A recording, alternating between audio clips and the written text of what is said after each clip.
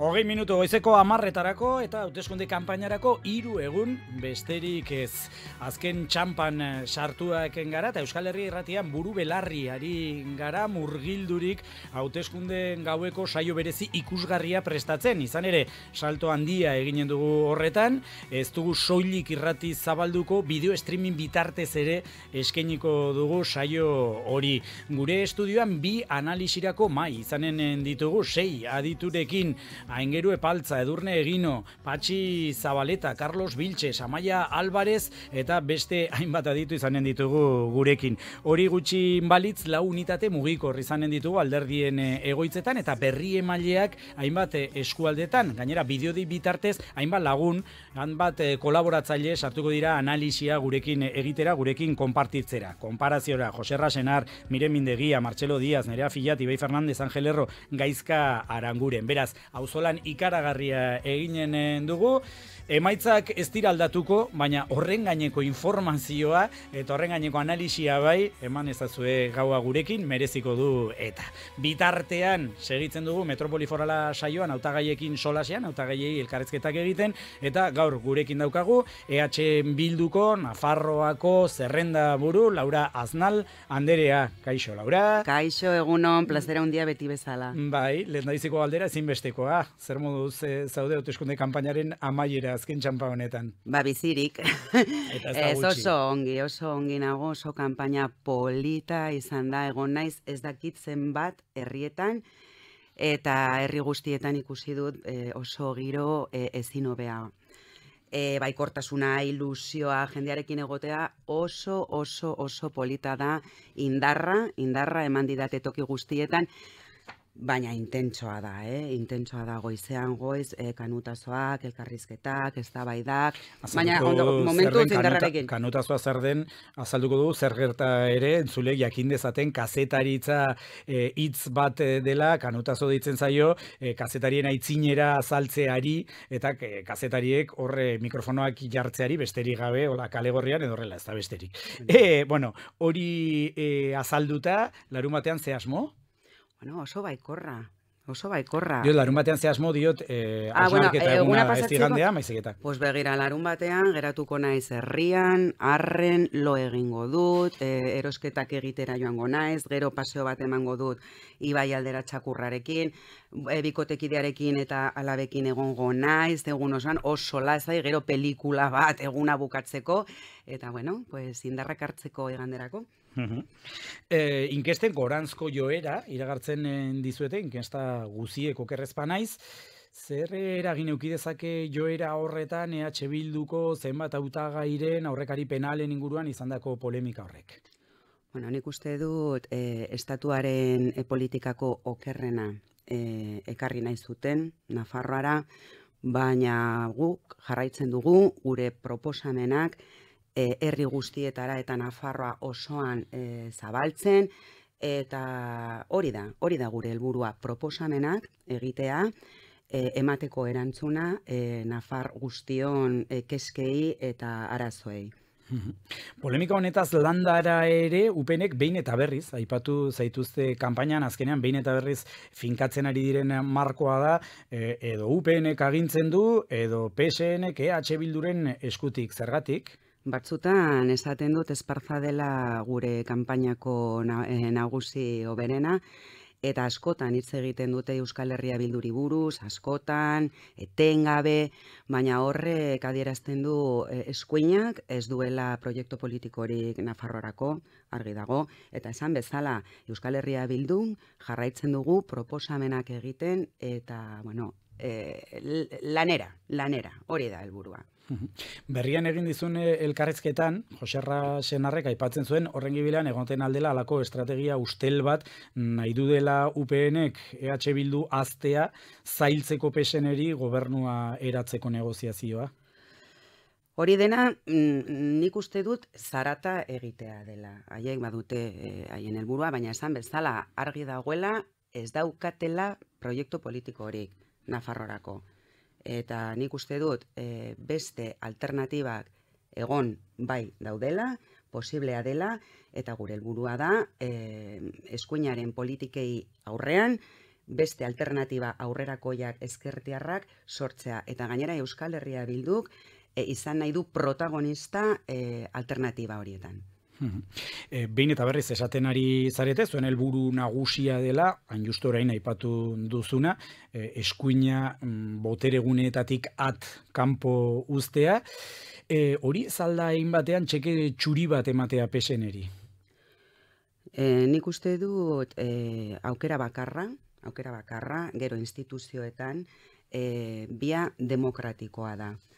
Eta Euskal Herria bildu e, indar aurrerakoi bozkatuena bada, uste dut e, gobernatzea, adibidez e, Iruñaren kasuan, Iruñako e, gobernua lideratzea dagokigula. Hori da. Eta komentatu dut askotan baina orain arte asko hitz egin du hitz egin da Euskal Herria bilduri buruz, baina maiatzaren hogeita sortzitik aurrera, Euskal Herria bildurekin hitz egin beharko da, eta hitz egingo dugu, eta gure prestutasuna hitz egiteko eta akordioak lortzeko e, osoa da. Ja adirazi dugu, azken urteotan, eta hildo honetan, eta zentsu honetan, eta bide honetan, lan egiten jarraituko dugu.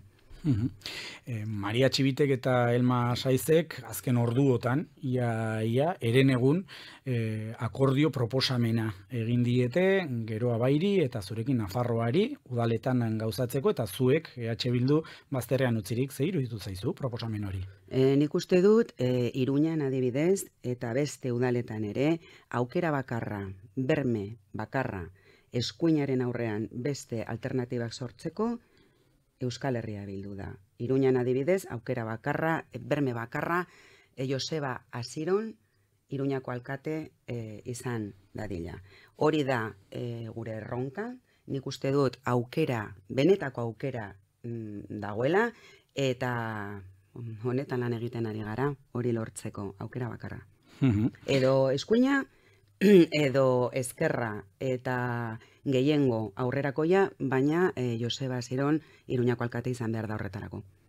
E, zure ustez, e, PSN-eren iragarpen hauek, proposamen hauek, hauteskundeetara begira egindako proposamenak dira, oda boto gehiago lortzeko, ala maiatzaren hogeita zortziaren ondotik ere utxiko diote, horrelako jarrera bati. E, nik uste dut, e, PSN-eren estrategian e, dago hori, e, sartuta, baina argi eta garbi egin behar da. PSNek egiten badu aipatzen duena, bai Iruñan edo beste udaletan, horrek esan nahi du eskuina gobernatuko duela. Eta nik uste dut e, Iruñako jendeak e, ez duela hori hori merezi, baina e, eskertiarrak, eskertiarrek ulertu behar dute argi eta garbi PSNeri boskatzea esan nahi du horri, e, beste lau urte eskuinarekin e, gobernuan. Eta azkenean PSNek gero abaik eta zurekin Nafarroak akordio gazatuko balute udaletan, esan dut e, maiatzaren hogeita zortzitik aurrera hori eginen balute udal guzietan, zuei bizkarra eman da, EH Bilduk zer eginen luke? Bueno, Euskal Herria Bildun e, guk e, lan egiten dugu gure lehentasunetan, gure edukietan, eta hori izango da e, gure hildoa akordioak lortzeko eta e, errepikatzen dut gure prestutasuna osoa da hori lortzeko.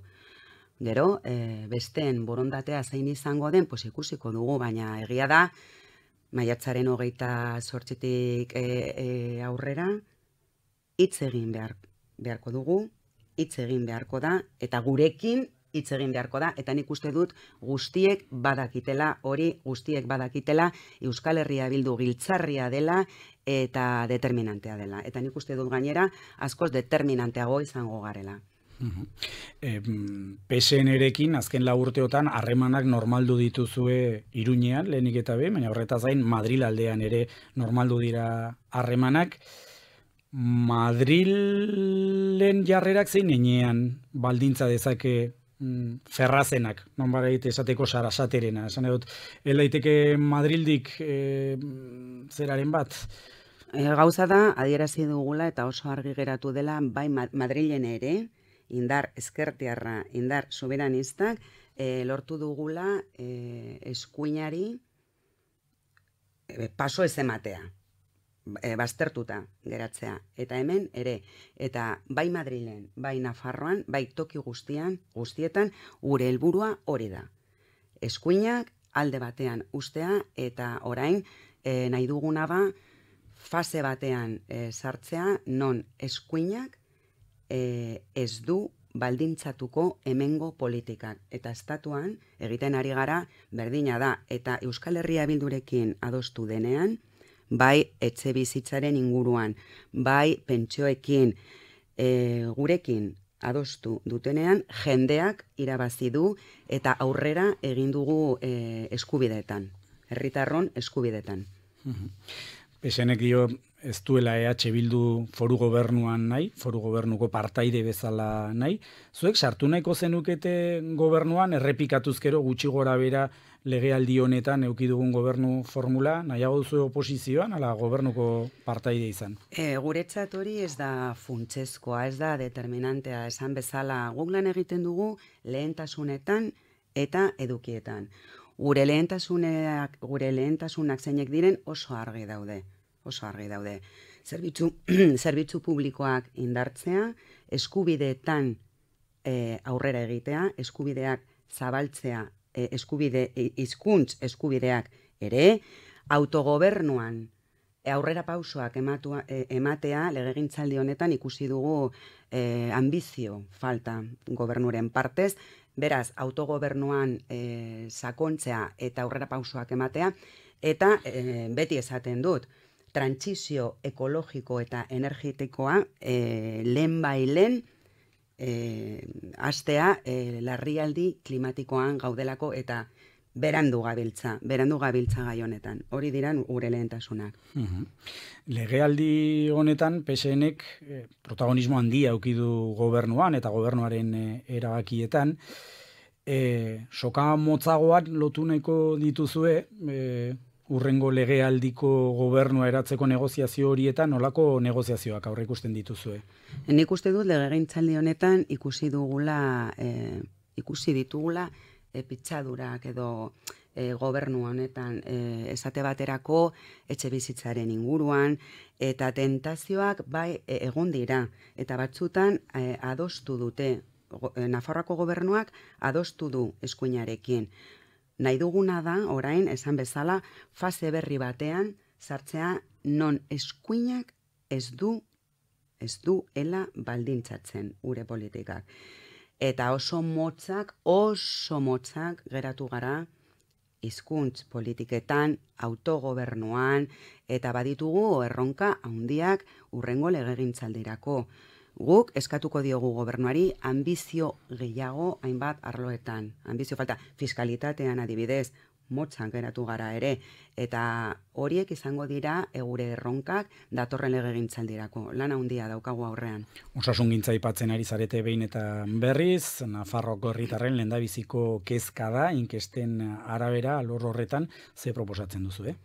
e, bueno, gure osasun e, sistema publikoa ziun dagoela aipatzen dut askotan, baina egia da, badaukago e, itxaron e, zerrendak, etengabeko itxaron e, zerrendak, eta jendartearen keska nagusiena da. Beraz, guk e, proposatzen duguna da, lehen bailen foru lege berri bat, osasun gintzan e, arloan, e, lehenengo harretan oinarritutako legea, e, aurre kontuak egokitu beharko e, ditugu, osasun gintzan, eta esan bezala aldaketa estrukturala, estrukturala, talkan urriak bai itxaron zerrendetan eragiteko, baina e, aldaketa sakonak epe e, luzerako ere, eta nola ez, lan baldintzak duinak, baina langile guztientzat osasun gintzan. Eta Euskarari dagokionez diru laguntzak handitu dira, nabarmen, azken lau urteota, baina gero hizkuntza politiketan nola baite esateko, ez atzera, ez aurrera geratu da kontua, datorren legealdian zer? Oso motza geratu gara e, lege gintzaldi honetan, eta e, ez badira egon murrizketa gehiago e, Euskararen inguruan, gure proposamenei ezker izan da, guk lortu dugu de eredua e, zabaltzea, mendigorrian eta beste toki e, batzuetan, eta mm, helduen e, alfabetizazioan aurrera pausoak eman dugu, doakotasun, orain e, doakotasunera askoz hurbilago e, gaude.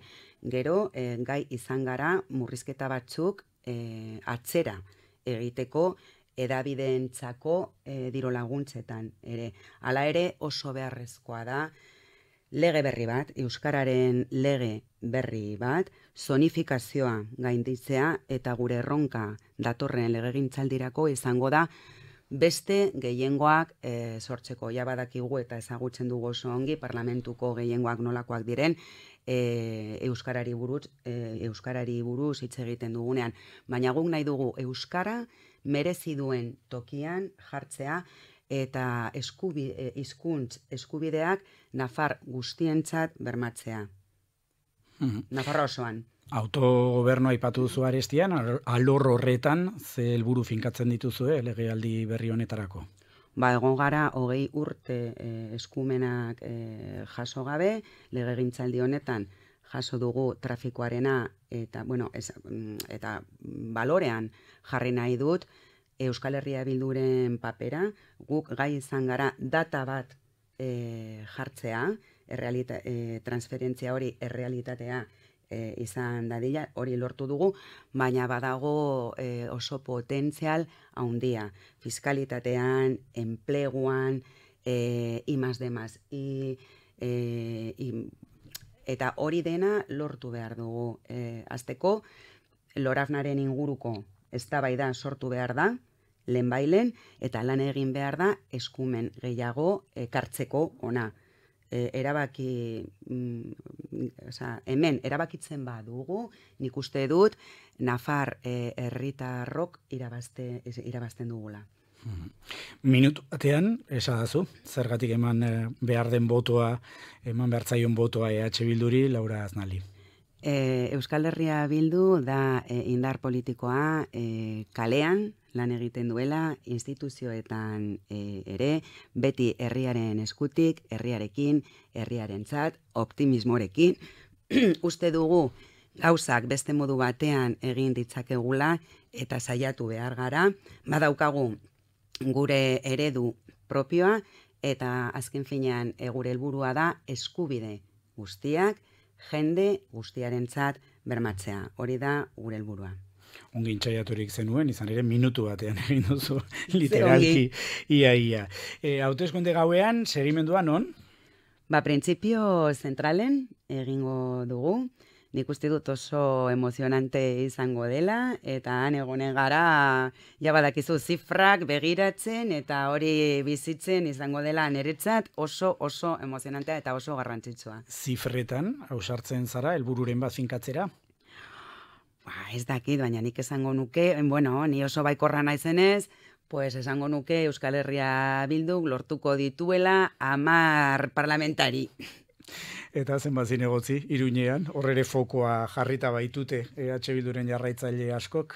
Nik benetan, errepikatzen dut, badauka, badaukagula aukera, erreala, lehenengo indar politikoa izateko iruñean, eta hori espero dut. Ederki, bada Laura Aznal, mi esker gurera urbiltzeagatik, irrintzi dorreko estudio hauetara urbiltzeagatik, eta igandera arte. One, two, three, Metrópoli Forala, Euskal Herria irratian.